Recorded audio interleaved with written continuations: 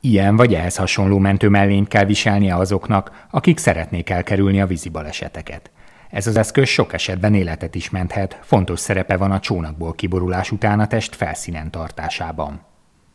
Jánborné Inger Nikolett, a Szexádi Kajakkenu Sport Egyesület edzője elmondta, sok esetben problémát szokott okozni, hogy a hajóban nem vízhatlan zacskóba vannak elcsomagolva a személyes tárgyak, így egy borulás során nagyobb értékű anyagi kár is keletkezhet. A túraszezon megkezdése előtt mindenképpen javaslom, illetve a vízreszállás előtt, hogy mindenki mentő mellényt vegyen fel. Ez azt gondolom, hogy kiemelten fontos. A gyerekek semmiképp nem menjenek enélkül, de a felnőttek is sok esetben bátran indulnak neki a víznek. Én azt gondolom, hogy egy-egy túra során ezt a kis időre el lehet viselni ezt a mentőmellényt, úgyhogy ezt, ezt mindenképp ajánlom. Hozzátette, a nagyobb vízfelületen akár életet is menthet a hajó, mert a bajba jutottak könnyedén bele tudnak kapaszkodni. Nagyon-nagyon fontos az, hogy ne pánikoljanak be a, a vízbeesés során, és ne legyen az, hogy a az eszközöket hátra hagyva mindenki hanyat homlok a víz szélére menekül, ez semmiképpen sem jó megoldás. Minden esetben arra kell törekedni, hogy a fő eszközt, a szápot, a kajakot vagy a kenut visszafordítsák a, a normál állásában,